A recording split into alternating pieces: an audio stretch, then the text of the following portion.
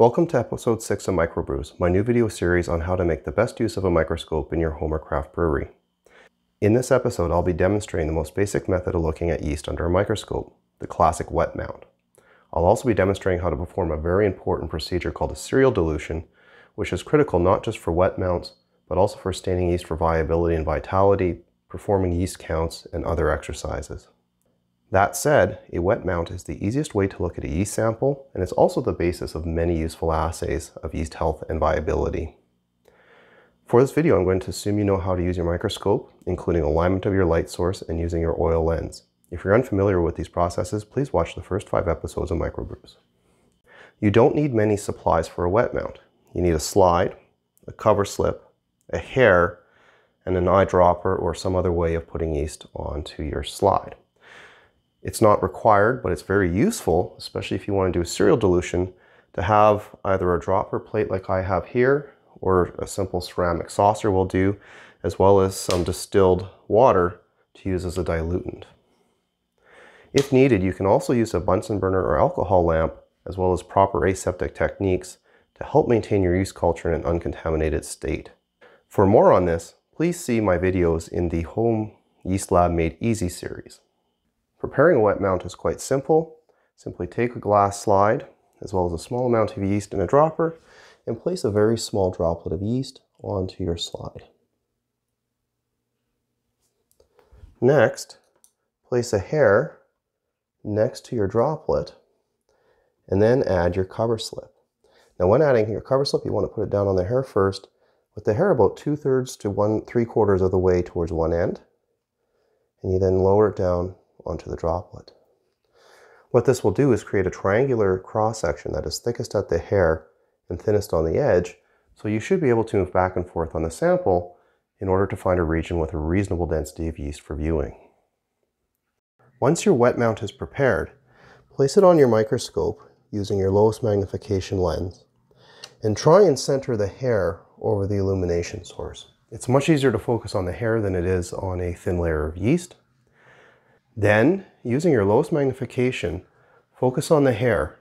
Your yeast sample should now be in focus. Next, move your sample so that you're imaging closer to the edge where the yeast sample is a little bit thinner. As you move the slide towards the edge, you should see the density of yeast drop. Stop where you reach a density where you can clearly see each individual yeast with a reasonable spacing between them. You can now increase your magnification to your, your medium magnification lens or even to your oil immersion lens in order to view the yeast in the way that you need to view. Now if you are using your oil lens, it's no different than using your uh, oil lens under other circumstances. Simply put the drop of oil right on top of that cover slip, swing that high magnification lens into place, and you're now ready to image. But what do you do if there's far too many yeast or other organisms in your sample to get a good view at what's going on? Well, luckily it's very easy to address this using something called a serial dilution. What you want to do is on a spot plate like I have here, or on a ceramic dish, place nine drops of water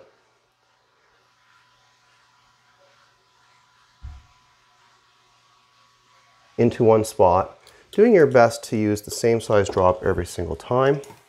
We're then going to take our yeast and place a single droplet of yeast into the first well that I've prepared.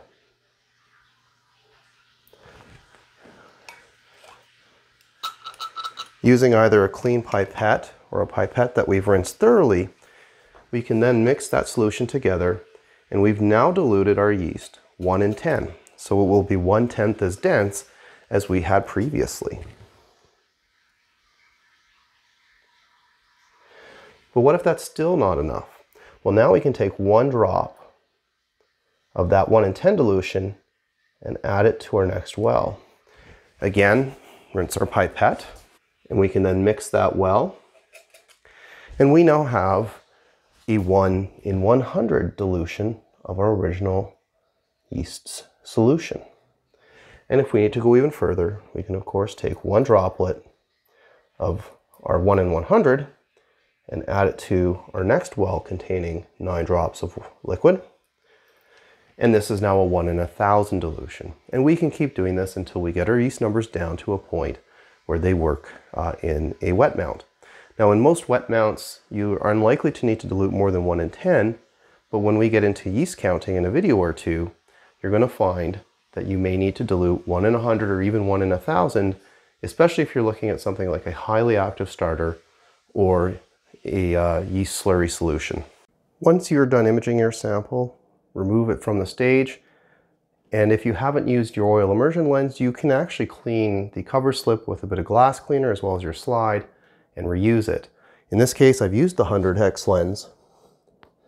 So I need to very carefully remove my slide.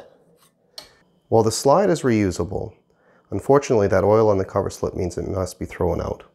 Luckily they're quite cheap, so this isn't a big loss.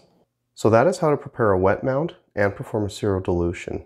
Please join me in episode 7 to learn how to use wet mounts to assess yeast viability and vitality.